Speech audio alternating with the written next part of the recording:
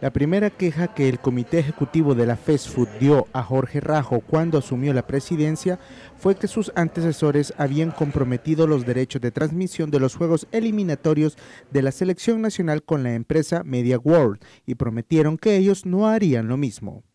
Este lunes, a pocos meses de dejar el cargo, el directorio de la federación firmó un convenio con la empresa Imagina US, a la que excede los derechos de transmisión de los partidos de la selección mayor de fútbol en las eliminatorias mundialistas rumbo a Qatar 2022. Encontramos ya los derechos transferidos y nosotros en ese momento pues no nos dábamos cuenta total en qué concepto estaban este tipo de situaciones.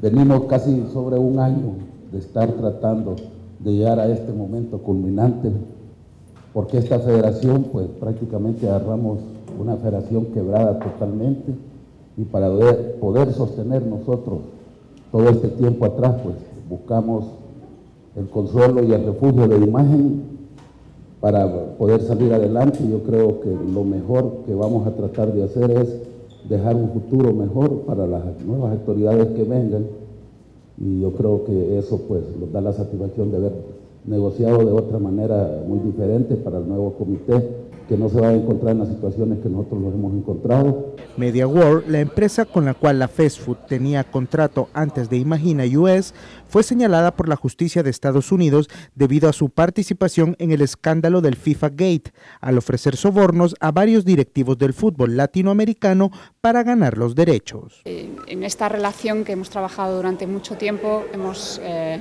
Creo que les hemos convencido de que la apuesta de trabajar con nosotros era la mejor para la federación y, en definitiva, para que los aficionados del fútbol salvadoreño puedan disfrutar de su selección eh, de la mejor manera y, llegando, pudiendo verla en todo momento y en en abierto, que es lo importante. Sí, Media World era una compañía de nuestro grupo que eh, afortunadamente ha quedado ya disuelta.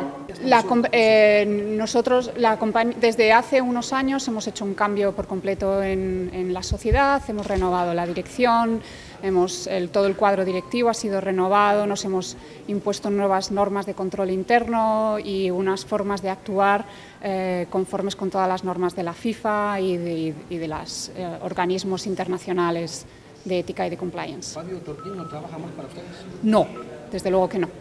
Dejó de trabajar tan pronto conocimos su involucración en, en acontecimientos con los que nosotros no queríamos tener nada que ver. ¿Esos acontecimientos el FIFA Gate? Sí,